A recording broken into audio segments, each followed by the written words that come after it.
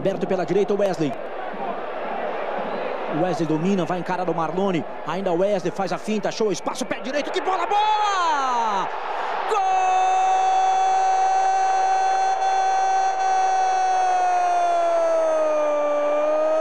Gol do São Paulo!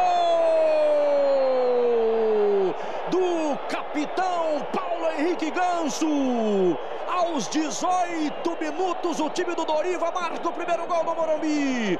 Os jogadores se abraçam, comemoram bem demais ali o Wesley. Fez a finta, o espaço, pé direito, faz o cruzamento. Ganso por todos os ângulos para você curtir. A ginga de Wesley, o cruzamento perfeito, toque de Ganso. A comemoração dos jogadores do São Paulo. O São Paulo marca primeiro do Morumbi. Ganso, um para o São Paulo, zero esporte.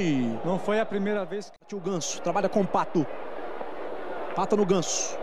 Ganso no Pato. Pato vem na velocidade. Sai do primeiro. Que bolão para Luiz Fabiano!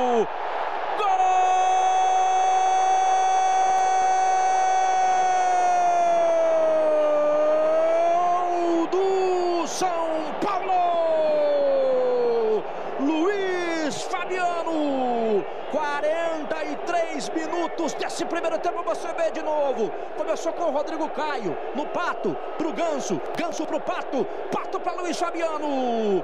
Por todos os ângulos para você curtir. De pé em pé, chega bem o tricolor. E o Luiz Fabiano ofereceu o gol pro Pato. O Pato deu um presente pro Luiz, você vê de novo.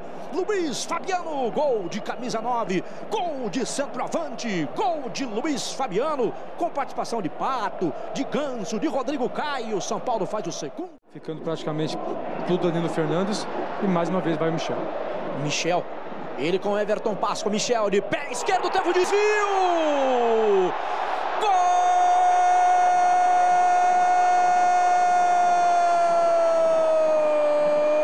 Gol do São Paulo! E me parece ali um gol cala a boca, né? Ele pôs ali o dedo na boca ali, sinal de silêncio, depois protestou. O torcedor comemora, o São Paulo faz o terceiro aos 19 minutos do segundo tempo. Michel puxou para o pé esquerdo, bateu, teve um desvio em cima do Everton Páscoa. Por todos os ângulos para você curtir.